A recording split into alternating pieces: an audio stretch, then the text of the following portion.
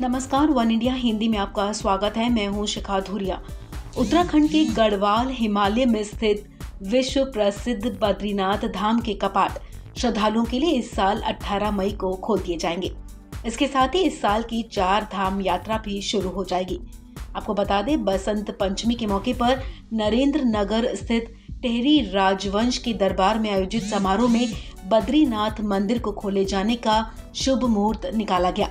चार धाम देवस्थानम बोर्ड के सूत्रों के मुताबिक भगवान विष्णु को समर्पित बद्रीनाथ धाम के कपाट 18 मई को ब्रह्म मुहूर्त में सुबह सवा चार बजे खुलेंगे।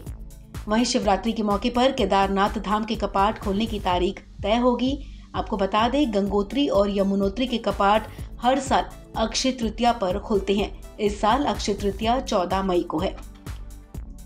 आपको बता दें, चमोली ज़िले में स्थित बद्रीनाथ धाम के कपाट पिछले साल शीतकाल के लिए 19 नवंबर को बंद हुए थे। बद्रीनाथ सहित चार धामों के कपाट हर साल अक्टूबर नवंबर में सर्दियों में बंद हो जाते हैं, जो अगले साल फिर अप्रैल मई में खुलते हैं। इस साल 18 मई को बद्रीनाथ धाम के कपाट खुलेंगे। वहीं शिवरात्रि के मौके पर केदारनाथ और यमुनोत्री गंगोत्री धाम के कपाट खोलने की तारीख भी घोषित की जा सकती है। आइए आपको बताते हैं बद्रीनाथ धाम से जुड़ी कुछ खास बातें। मान्यता है कि पुराने समय में भगवान विष्णु जी ने इसी क्षेत्र में तपस्या की थी। उस समय महालक्ष्मी ने बद्री यानी कि बेर का पेड़ बनकर विष्णु जी को छाया प्रदान की थी।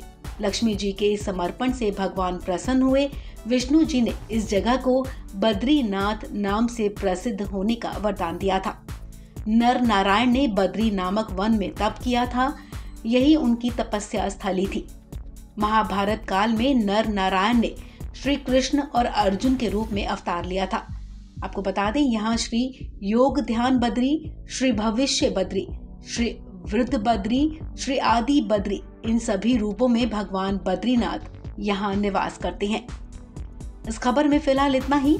तमाम अपडेट्स के लिए आप बने रहिए वन इंडिया हिंदी के साथ।